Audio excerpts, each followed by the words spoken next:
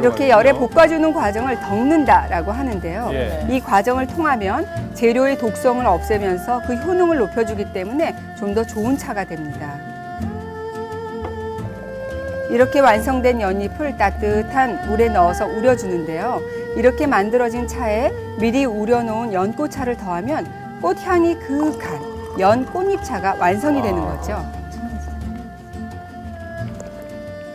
잠 못 자는 불면증 같은 것도 없어졌고 그리고 노화 방지도 많이 되는 것 같아요. 어린 손주와 함께 나들이 중인 박범아 씨. 지금은 평범하게 일상을 보내지만 과거엔 심한 화병으로 고생이 많았다는데요. 이젠 화병에서 벗어난 범아 씨의 비결, 바로 이 해독수에 있답니다. 제 속에 있는 화를 삭혀주는 해독수예요. 범아 씨의 가슴 화증을 내려주고 우울증까지 함께 다스려준 쓴바귀수. 이만한 불덩어리가 올라왔다 내려갔다 막 진짜 천불 남들은 천불 난다 하면 나는 만불이 난다고 해서요.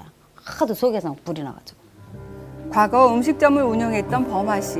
맛집으로 알려지면서 돈도 많이 벌었는데요. 하지만 무리한 사업 확장 중에 사채를 썼고 상황이 악화되면서 범아 씨는 순식간에 빚 20억을 지게. 되었다고 합니다. 화병과 우울증으로 삶을 놓을 생각도 했던 범아 씨. 그 응어리진 화병을 풀고자 택한 게 바로 이 쓴박이였습니다. 봄에는 그 잎을 나물로 먹지만 가을철엔 뿌리까지 모두 채취해서 쓰는 쓴박이.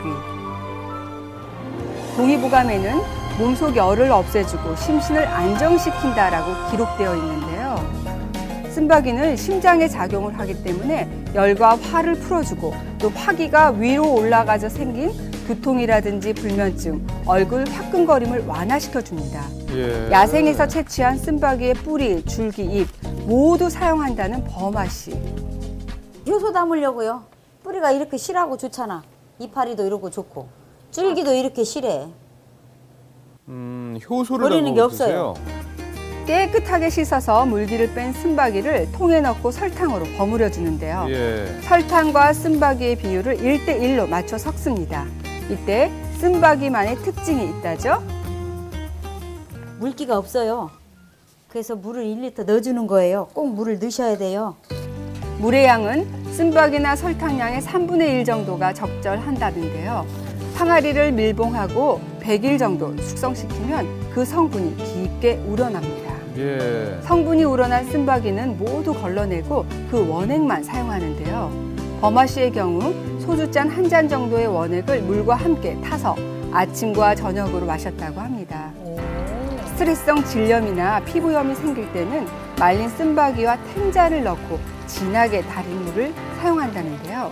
식수 대용으로 마시며 염증 부위에 헹굼물로 사용을 하면 증상을 완화시키는 데 좋다고 하지요.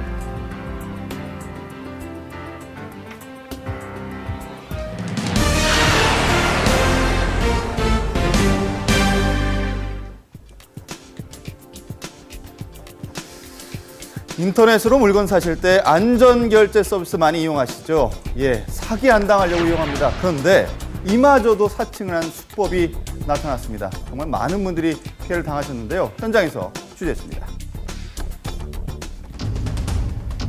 직거래 이용자 천만, 1년 개인 간 전자 상거래 액수 아는 사람이 10조 원 시대. 오히려 멍청하다고 생각합니다. 친구들은. 아, 바보라니까. 계좌번호 보내면은 다 보내. 점점 지능화되고 날로 대담해지는 직거래 사기 사건들 그리고 늘어가는 피해자들입니다.